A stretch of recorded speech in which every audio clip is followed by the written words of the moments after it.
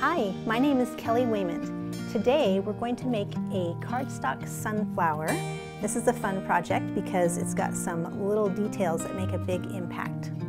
Let's go ahead and go over the supplies.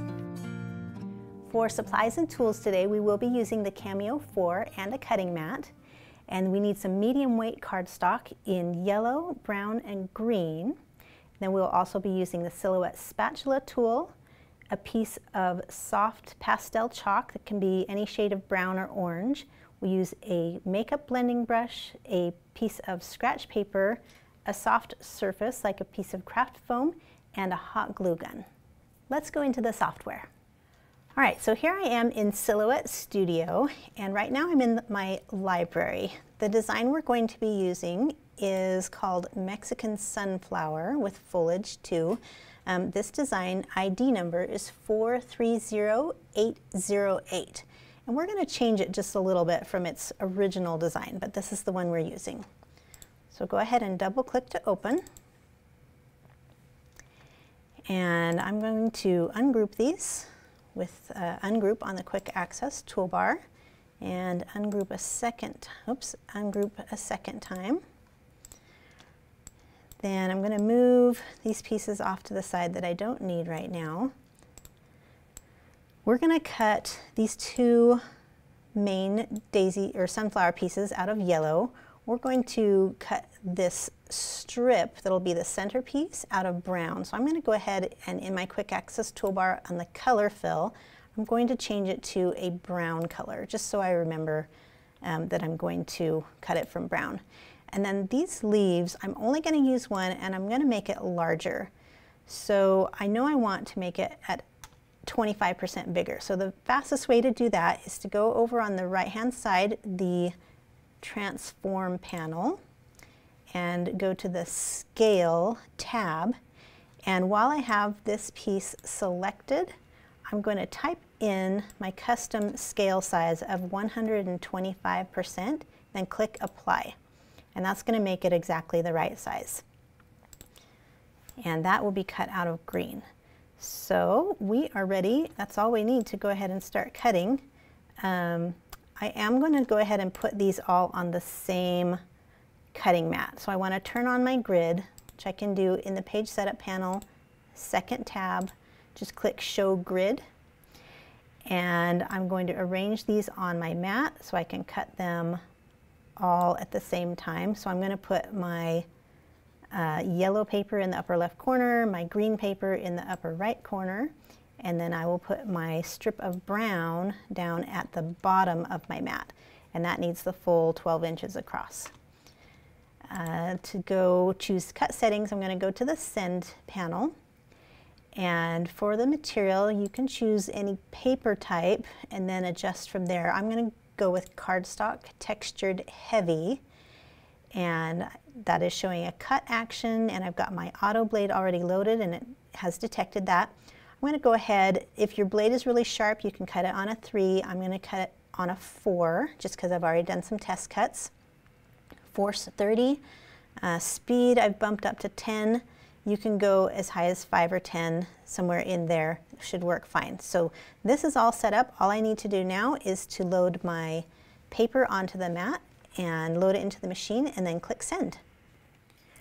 All right, so here's my cutting mat. I'm just gonna remove the protective shield and place my paper on my mat the same way I had it on my virtual mat in the software. So my yellow paper goes in the upper left, my green paper is in the upper right where the leaf will cut. And then my brown piece of paper is going to go across the bottom. It's always good to make sure you have enough paper to match up with where you have um, placed it on your virtual cutting mat so it cuts in the right place. So now we'll just load this.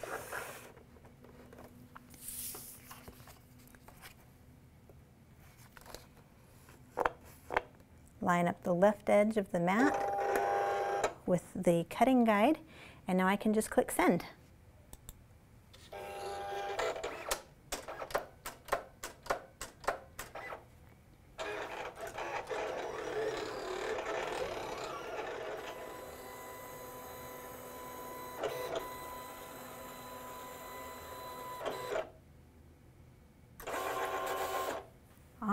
That's done cutting and it looks like those cuts are good. I can tell by lifting just a little piece.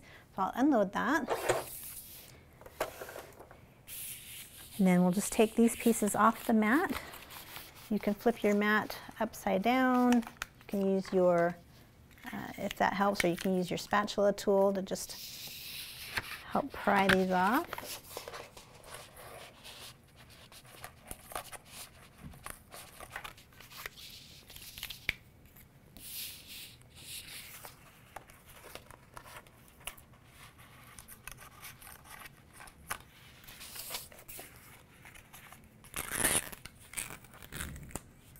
Okay, that's all we need to cut for that sunflower. Uh, the next thing we're going to do is we're going to take this long centerpiece. I'm going to just put a crease along the center so I can fold it in half lengthwise. So what I like to do for that is just take the back of my spatula tool and just press. You can do it on a hard surface. I like it a little better on a soft surface, which is why I'm using this craft foam. And I'm just eyeballing it, just dragging a crease in half. It doesn't have to be exact. Just pressing a crease in there. Because the next thing we're going to do is fold it in half lengthwise, and so that crease really helps uh, make this fold easier. And now we're just going to roll this up. And if you are just placing it on the sunflower, you don't need glue in the middle because we'll be adding glue to the back. If you wanted to turn these sunflowers into uh, a standalone sunflower on a stem, what I would do is add a piece of floral wire here and glue it in and glue it as you wrap it. But we're not putting this one on a stem today, so we can just roll it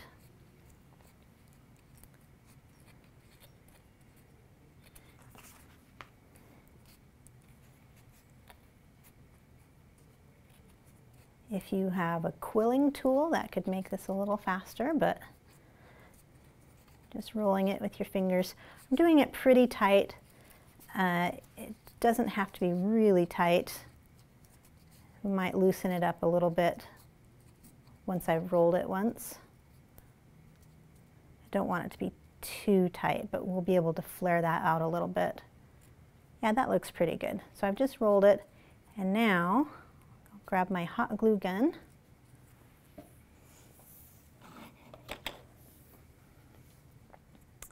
With my hot glue gun, I'm just going to add a little bit of glue here at the tail end of it, a little bit under in between the fold too.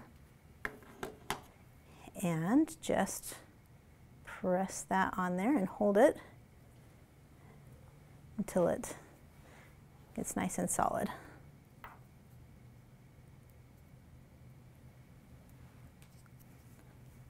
Okay, so there's our center. We'll come back to that in a little bit. For our petals, because it's cardstock, it's really easy to just cut these in two pieces and then we'll get these layers. But we're going to take the uh, spatula tool again.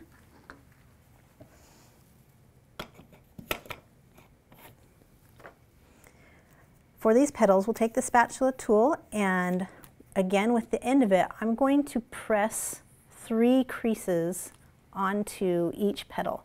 So one down the center, and then one to kind of follow the curve of the sides. And these don't have to be precise and beautiful. It's just a little bit of texture. So one down the center, and one to kind of follow the curve on each side. What this is going to do is kind of look like we've got some veins in our sunflower petals. And it's going to pick up the chalk when we get to that point and give some nice detail. So you can absolutely just leave your petals flat when you're doing paper flowers, but anytime you can take the time to add just a few details, it really makes a difference. So one, two, three for each petal. You don't want to press so hard that it tears through your paper, but you can press pretty good, especially um, with a soft surface underneath. Just two more petals.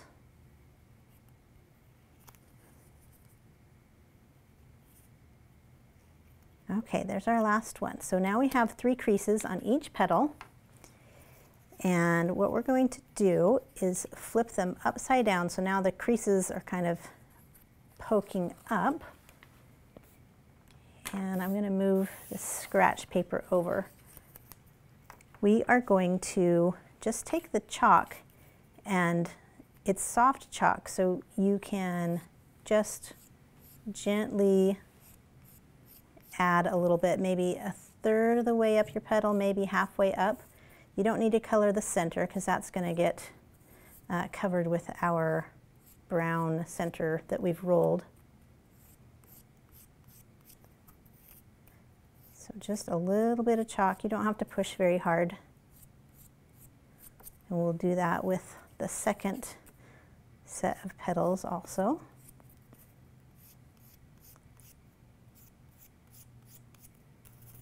And you can, you can actually bring it up all the way if you want. You can experiment and see uh, what looks good to you. But I would generally keep each flower um, fairly consistent how far you're bringing it up.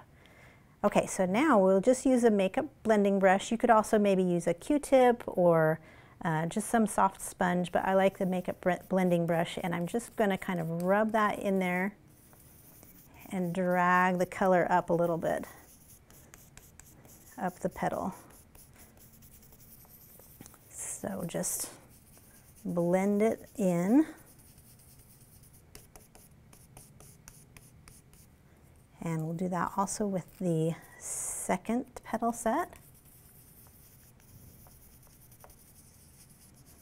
And you could use more than one color if you want, uh, or you could use even a dark orange, there's where the variety is completely up to you what you want to do with it. I kind of like the brown on my sunflowers, this orangey brown. Okay, and that's all we do for coloring.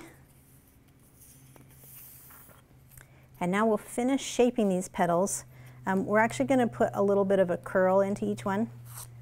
I'm just going to drag my spatula tool, just a very light curl Just drag it, the spatula tool between my thumb and the tool and then at the center where it touches that circular center I'm just going to add a little just bring it up and you don't want to drag your tool so hard that it removes those little embossed stripes we've put in there just a really gentle curl will work. You could even use a pair of scissors to do that, like your curling ribbon. Okay, and then once we've got those two layers, we'll just grab we'll just grab the hot glue gun again once we have those two layers and add some glue to one of them. Then you want to make sure as you're pressing these together that you kind of offset the petals so the layer behind is not evenly stacked up with the layer of petals in front of it. You want those to fill in the gaps behind there. Okay, so that is our petals. And then the center, we're just going to add some hot glue to the back.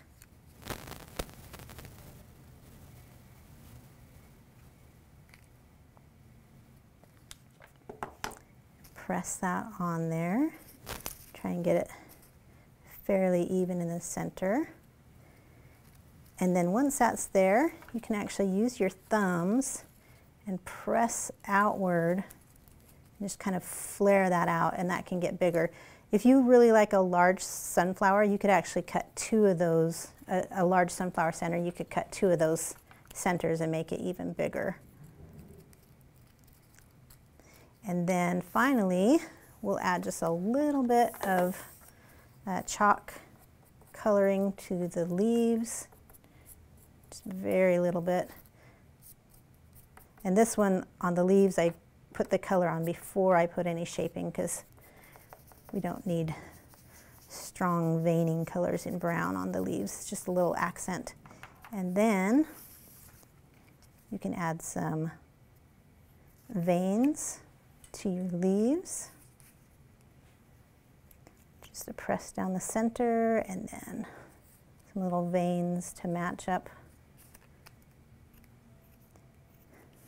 the little ridges in the leaf.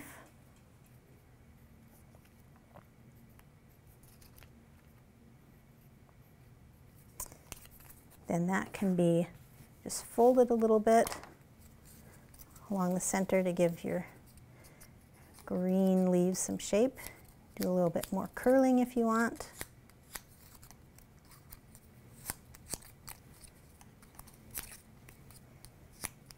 So it all kind of curls away from the center.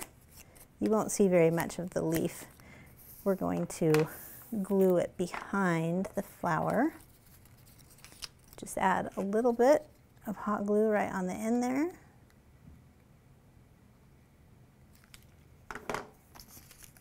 And then just press it on the back of your flower. And there you have a sunflower. So now at this point, you can use your sunflower as an embellishment on a box or a bag. I brought this little bag that I can just attach my sunflower, or you could make a whole bunch of these sunflowers and maybe glue it to a wreath form and make yourself a sunflower wreath. But I think it's really cute on something like a box or a bag to present as a gift.